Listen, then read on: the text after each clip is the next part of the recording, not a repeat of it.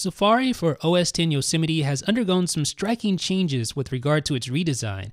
It now has a simpler look, it's streamlined. The toolbar, as you see here, has simpler controls. It's a lot less intrusive in OS X Yosemite than it was in the past, yet it still maintains the important functionality that you need to browse the web efficiently.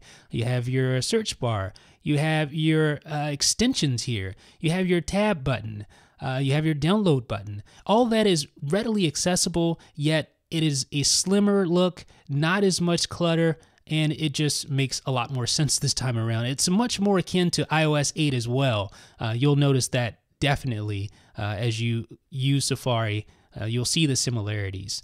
One such change that you'll notice is the new tab interface. It is much more akin to the new tab interface in iOS, especially on the iPad. You'll see the uh, iPad like layout there when you open up a new tab. And to be honest, I think this new tab view, it's not just done just to mimic iOS, but I think it actually is more functional. Uh, you can open, close, uh, switch tabs with just a couple of clicks. Uh, you can also access all your iCloud tabs right there from the new tab interface. I think it, it's not only streamlined from a visual standpoint, but it also is easier to use, which I definitely appreciate.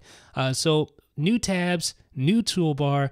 There's something I'm missing. Oh, favorites. This is the, probably the most awesome part of this whole thing.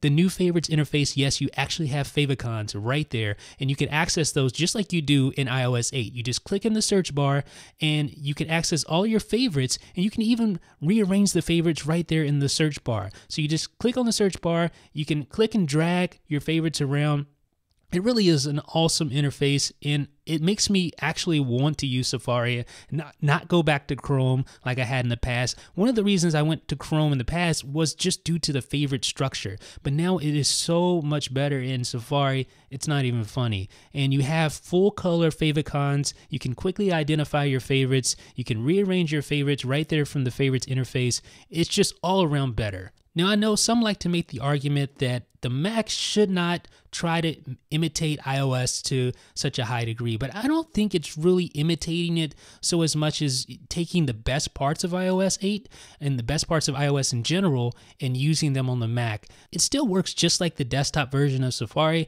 but Safari and Yosemite take some of the best features in iOS 8 and brings them to the desktop.